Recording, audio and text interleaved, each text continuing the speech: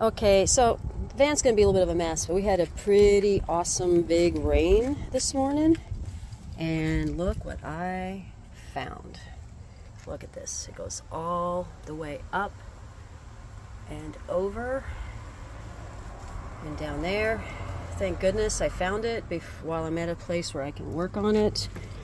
90% sure it's coming from this rusty place here that was,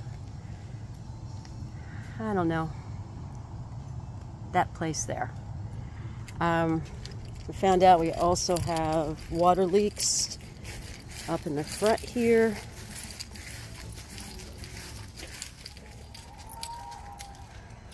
On that window there, there's a gap at the bottom where it wasn't sealed real well. Thought I was going to be on the road today. I have to go to work tomorrow. So I'm going to be delayed today and uh, have to fix this and see if I can get my work clients to take a postponement. So you just don't give up. You keep working. Okay, we did a little bit more looking and found the other leak. Right and there. And I had asked the previous owner and they said it was old and resolved, but it is not. So, thank goodness I found it before it was much worse. And uh, we'll see if it, and of course you can see right there, it's a really bad place in the car. So, that's what we're doing today. Okay, so I'm inside now, finally. Um, working out in the hot, humid Florida July summer. Whew, thank goodness, lots of electrolytes and hydrating. So, um, got 90% of it fixed. Ended up having to use some Bondo, um, uh, to fill in the gaps and I'm going to show there's going to be some pictures attached still pictures to show the before when we got all the rust out and then um, the Bondo before it dried and we're going to sand that tomorrow and uh, and then uh, finish it up. And um, so sorry for the andas I'm just so tired. So you know in the end it's it's going to be okay. Um, I'm so glad I found it while I was at a place that I could actually sit and work at it. I'm in my uh, best friend's driveway, and uh, that's who you see often in uh, in the video. It's my best friend who's incredibly knowledgeable, and um, you know I can say, "Hey, I think we I need to do this," and she'll say, "It's a good idea, but try that." and uh, so she's just a wealth of knowledge and she's really helping me and uh, of course two hands makes everything go much faster um, but yeah, I wouldn't be able to do this all without her help. Um, so um, it's drying today. Tomorrow we're going to sand and get that done. Um, I did get the solar finished yesterday. I'm just finishing up that uh, video. I just have to add a couple little things to it so you can see the solar, the exterior. Oh, I know what I want to do with the solar. So I want to show you uh, the exterior what I did and then um, interior. Um, so that'll be my next video.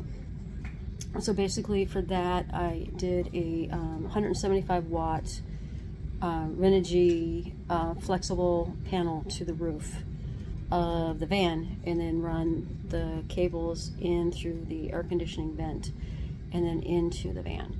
And um, it's going to sound over the top, but I have a 1200 watt um, Goal Zero Yeti um, power bank, and it's a lot, but it's one that I already had, and I, um, for my house, I live in Florida right now, and um, it was so I can run my refrigerator and stove and stuff in case of a hurricane, and you know, sometimes we have like week-long, two-week-long power outages due to storms here. So um, I already had it. It's uh, extremely good, you know, high-powered, well-running. I've used it. I know it works, and so I just I'm going to use it to run my van. Why not? Um, it's a little bit of overkill, but I'll be able to boondock a lot with it.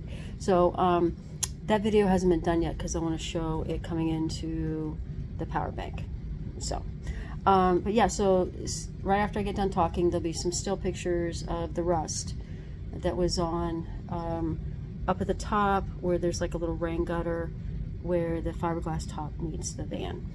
Um, and again, you know, I kind of talked to a previous owner about it, and uh, she acted like it was a no, a, a non-issue. And uh, but yeah, one of them you could see all the way into the van. It was like a hole in my van.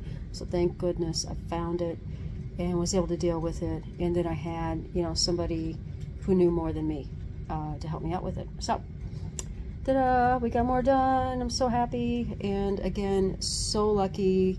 We had a massive six o'clock rain this morning. I went out to, uh, you know, kind of do, uh, the van's like really dirty from all the work we did. So I was going to clean it up, put things away. And I saw it. I was like, whoa, gotta fix this. So there we go. You know, if it's not one thing, it's another. I got that from Roseanne, Roseannadanna, for those of you who remember her. Okay, thanks.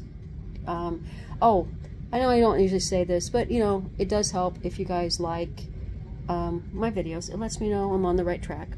I love the comments. Thank you so much for the comments. If you feel like this is something you kind of want to see um, on the regular, subscribing would be awesome.